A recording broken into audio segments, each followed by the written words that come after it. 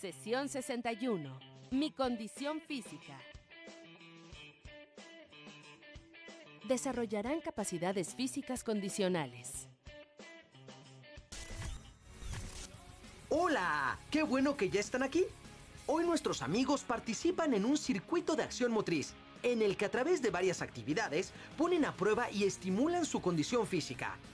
Para esta actividad, en cada una de las esquinas del patio escolar, nuestros amigos colocaron una estación donde de manera particular desarrollan un juego y trabajan una capacidad físico-motriz. Así pues, en la estación 1 juegan La familia sale de paseo y trabajan la resistencia. En la estación 2 juegan Muelas y chiclosos y trabajan la fuerza. En la estación 3 juegan porterías humanas y trabajan la flexibilidad. Y en la estación 4 juegan las cuatro esquinas y trabajan la velocidad. Para participar en este circuito, nuestros amigos han conformado cuatro equipos mixtos de seis integrantes cada uno. Cada equipo se ubica en una estación y durante seis minutos desarrolla el juego asignado. Posteriormente a trote lento, se desplazan hacia la siguiente estación para participar en otro juego. Dado que en este circuito, ante el esfuerzo físico que se realiza, la frecuencia cardíaca y la respiratoria sufren cambios. Es recomendable registrarlas al inicio y al final de cada juego.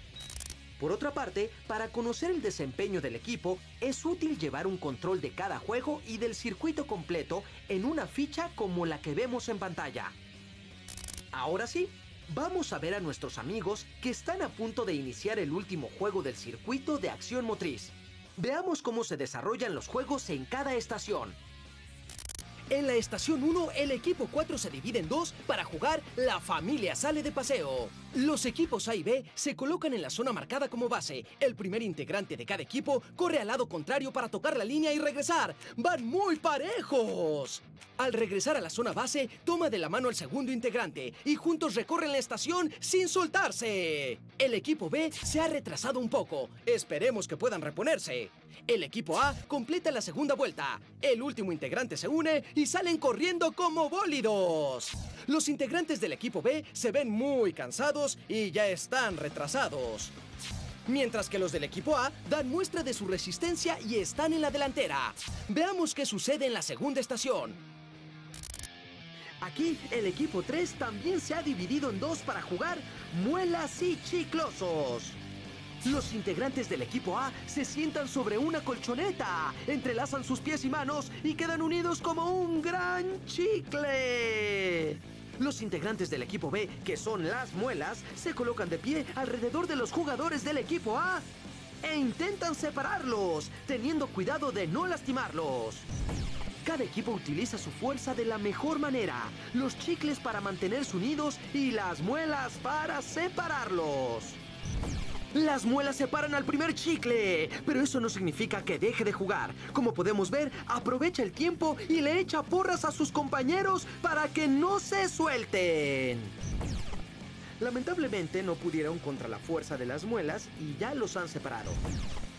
Ahora cambian de rol. A ver qué tal les va. El ganador será el equipo que, como chicle, dure más tiempo unido. En la estación 3, el equipo 4 juega porterías humanas. Como podemos ver, han formado un círculo con los jugadores de pie, con las piernas separadas, dejando todos la misma distancia entre una pierna y otra. Separación que funciona como portería. Todos se flexionan lo más que pueden para alcanzar la pelota y empujarla hacia una de las porterías contrarias. Esta jugadora, sin duda, hace gala de su flexibilidad y logra su primer gol. Ahora reiniciará el juego. Todos tienen las mismas oportunidades, pero sin duda en este juego ganará quien tenga más flexibilidad. Mientras eso sucede, veamos qué ocurre en la estación 4. El equipo 1 juega las cuatro esquinas. En cada una de las esquinas de la estación está un jugador o jugadora y al centro los otros dos jugadores del equipo. Estos últimos cantan en voz alta un valor de tipo social o personal, moral o de competencia. Los jugadores de las esquinas se mueven a gran velocidad y coordinan sus movimientos lo mejor que pueden para cambiar de lugar. Uno de los jugadores se ha equivocado, pues en lugar de avanzar a la esquina de enfrente, lo hizo a la esquina de lado, cosa que no se permite en el juego. Ahora, con un punto en contra, debe cambiar su lugar con alguno de los jugadores que están al centro. En este juego, el jugador que se mueve con menor velocidad de una esquina a otra, que se quede en el mismo lugar o que avanza la esquina de su derecha o izquierda, suma más puntos en su contra y pierde el juego. El tiempo del circuito de acción motriz ha terminado. Ahora nuestros amigos deben medir su frecuencia cardíaca y respiratoria, así como completar su ficha de control. La resistencia, la fuerza, la flexibilidad y la velocidad son capacidades físico-motrices que utilizamos todos los días. Su estimulación y desarrollo depende de nuestro estilo de vida y podemos mejorarlas siguiendo un programa adecuado de acondicionamiento.